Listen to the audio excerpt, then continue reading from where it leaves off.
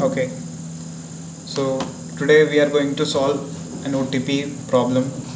We are given four ciphertexts let me just show you. Yes. So we are given here four ciphertexts which are encoded using only three keys. So and then we have to perform four tasks. What are they? First find the ciphertext pair that has been encrypted using the same key well this is an easy one to do. So let's do it. Mm, see for this thing you must know that all the characters in the English alphabet that A B C D E F G H everyone has 0 as the starting bit. So whatever the key may be it can contain any numbers or special characters or anything but when XORed with 0 it will produce the same bit whether it was 1 or 0 so what we can do is mm, we will convert this all four ciphertexts into binary. And then and we divide into groups of bytes then we will an analyze the first bit. So let's just do that okay. Mm, huh. So here here our four ciphertexts are here. And then here is the binary of all the four. So whenever encrypted these are English alphabets. So we will analyze the first bit which is this 0 0 1 0 so well C3 is out of the race. As it is the first bit is different so there is no chance that it will be one of the two which are which is encoded with the same key. So the remaining ones are first second and third. So again we analyze the ninth bit. And it is 1 1 1 1 we can't tell from here. The next one 1101 3 is already gone. Now 0 0 1 0 still the same. We can't tell whether 1 2 4 which one of the two. But when we move to the next it's 1 0 1 0 as 3 was already discarded and it matches with the 1 we will discard 1 2 so the remaining ones are 0 means second one and the fourth one. So um, so the one so these two ciphertext C2 and ciphertext C4 are encrypted using the same key. You can go on if you have time but still you will find the same result and you will find that it's the same for C2 and C4 most of the bits so our first task which was to find which ciphertext pair has been encrypted using the same key is C2 and C4 find partial key used for them well partial key is the same as we analyzed here. This one. Mm -hmm. partial key you can say that the first bit is 0 the ninth bit is 1 and so on so we got the partial key and our second task is done. Now moving on to our third task. Find any plain text character and its correct position in plain text. And the fourth one find any plain text word out of these ciphertexts okay we will do both of them together. So what we are going to do? See these are encrypted in English language. So means they contain English words. So what are the mostly used words in English? The, and, my, and others. So, but before doing any of that, we will first just look at this. Our message 2 was encrypted with a key using XOR and produced ciphertext C2. The same with M4.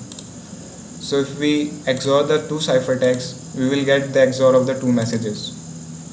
and if we XOR one message with the XOR of both of them you will get the other message.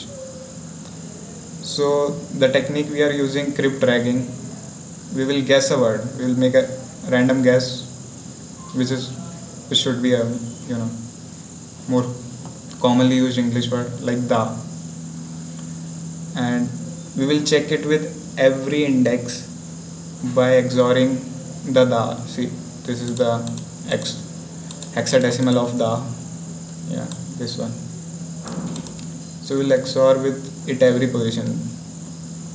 Uh, where is uh, this second and four we only require this one as this is the these are the two ciphertext and I have XORed them both so we will check the XOR of this the with every position. The technique is called crib dragging. So to do this well manually it will take hours. So I have a program here written in Python. So these here are our four ciphertexts but we are interested in the second one and the fourth one. So the target so I'm going to XOR these two second and fourth. Then I will enter a common English word and XOR with the result of both of them. So let's try running it. So the first common word comes to my mind is the. Let's see what happens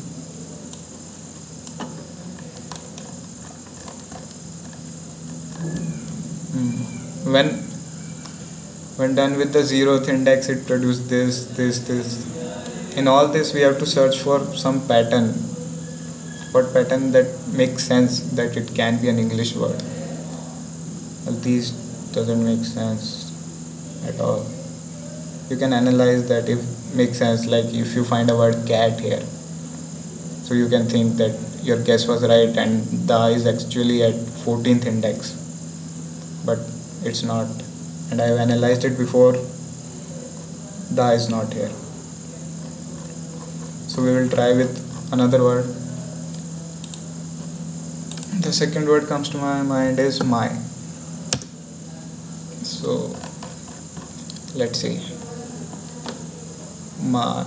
Zeroth with q8 nah. Yeah. this ch it made sense ch it can be you know ch char chin. You can make a guess. It can be chin. So let's run it again. We will guess chin. And we will go above uh, see we guessed my and now we got space and a g by guessing chin. So it can be my g my god. Let's try god. My god. So what we got? Chin comma something. So in this way you can progress further by guessing words. Chin chin. It can be something the first two characters. It can be such Sachin you will try that let's see my god. Oh my god. Yeah good movie.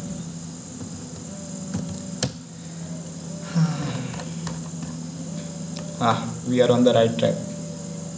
Sachin we found Sachin. So see this is how we perform crib drag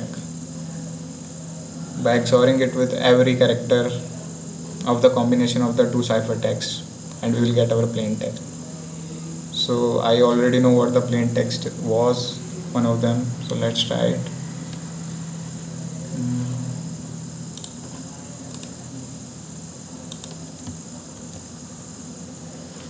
And what was it?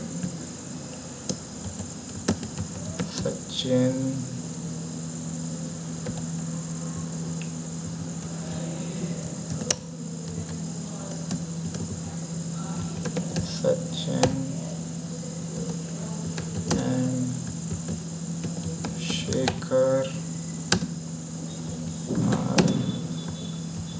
Explosive